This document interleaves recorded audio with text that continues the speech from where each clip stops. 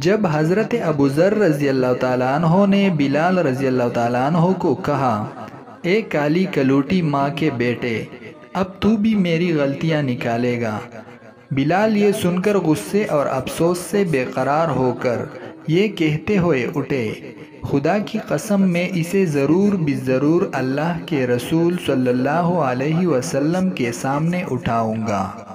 ये सुनकर अल्लाह के रसूल के चेहरे का रंग बदल गया और आपने इरशाद फरमाया, अबू ज़र, क्या तुमने इसे माँ की आर दिलाई?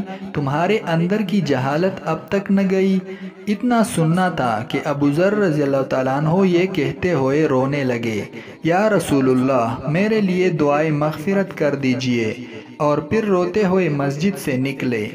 बाहर आकर अपना रुखसार मिट्टी पर रख दिया और बिलाल से मुखातिब होकर कहने लगे, बिलाल, जब तक तुम मेरे रुखसार को अपने पाँव से न रोन दोगे, मैं इसे मिट्टी से न उठाऊँगा।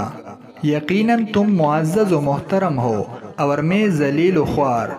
ये देखकर बिलाल रोते हुए आए और अबू ज़र से करीब होकर इनके रुखसार को चूम लिया और बेसाख्ता गोया होए, अल्लाह पाक की कसम, मैं उस रुखसार को कैसे रोन सकता हूँ, जिसने एक बार भी खुदा को सजता किया हो।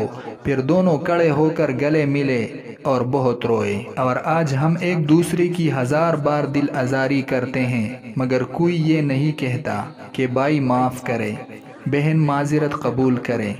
यह सच है कि हम आए दिन लोगों के जज्बात को छलनी कर देते हैं, मगर हम माजरत के अल्फाज तक ज़बान से अदा नहीं करते। और माफ़ कर दीजिए जैसे अल्फाज कहते हुए भी शर्म आती है। माफ़ी मांगना उम्दा सकाफ़त और बेहतरीन अखलाक है, जबकि कई लोग समझते हैं कि ये ख़ुद की बेइज्जती है। हम सब मुसाफिर हैं और सामान्य सफ़र नहायत ही कम है। हम सब दुनिया आखिरत में अल्लाह से माफ़ी और दरगुज़र का सवाल करते हैं।